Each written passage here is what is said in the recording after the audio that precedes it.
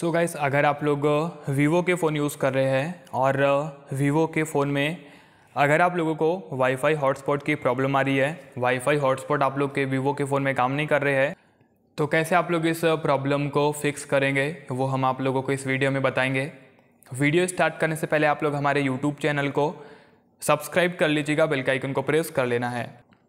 तो देखिए, यहाँ पे जाते हैं हम अपने फ़ोन की सेटिंग्स पे।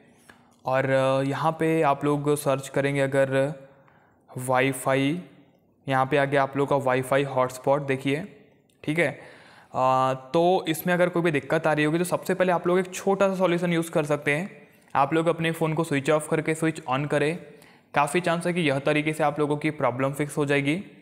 आ, या फिर अगर सॉफ्टवेयर में कोई प्रॉब्लम होगी तो आप लोग को जाना होगा अपने फ़ोन के अबाउट फ़ोन पे।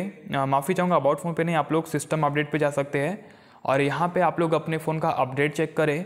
और अगर कोई अपडेट अवेलेबल होगा तो सिंपल आप लोग अपने फ़ोन को अपडेट करेंगे।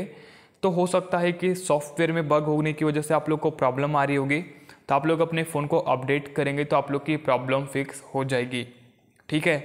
और ये दो जो सॉल्यूशन है, आप लोग के अगर काम नहीं करते तो लास्ट में क्या सॉल्यूशन है? आप लोग को जाना होगा अपने फ़ोन की सिस्टम सेटिंग्स पे, देन आप लोग को क्लिक करना होगा रीसेट ऑप्शंस पे, और यहाँ पे आप लोग को एक ऑप्शन मिलेगा reset wifi mobile and bluetooth का। तो आप लोग को अपने फ़ोन में यह सेटिंग्स को रीसेट कर देना है। जैसे ही आप लोग यह सेटिंग्स को रीसेट करेंगे, किसी भी गलत एक्टिविटी की वजह से वाईफाई हॉटस्पॉट में प्रॉब्लम आ रही होगी, सब कुछ डिफ़ॉल्ट हो जाएगा और आप लोगों की प्रॉब्लम भी फिक्स हो जाएगी। इसमें आप लोग का कोई भी डाटा डिलीट नहीं होगा, आप लोगों को निश्चिंत रहना है। तो सिंपल आप लोग को यह मेथड्स को यूज़ करना है डेफिनेटली आप लोगों की प्रॉब्लम फिक्स हो जाएगी। मिलते हैं नेक्स्ट वीडियो में। जय माता दी।